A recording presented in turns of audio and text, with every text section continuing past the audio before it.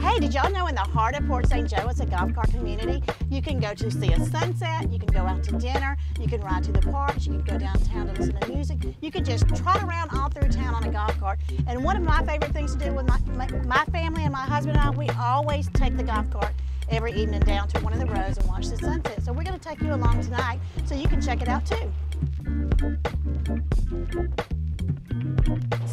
Streets you can sit on, ride through. You can't cross over, but you can definitely pull up to one of the stop signs and just sit out here. You'll see most of all the other people having a seat right here on Highway 98 and waiting for the sunsets to go by. We'll wave at the cars. People pull over and take a look too because you won't find a more prettier sunset anywhere than right here in Port St. Joe, Mexico Beach and Cape San Blas. So let's see it.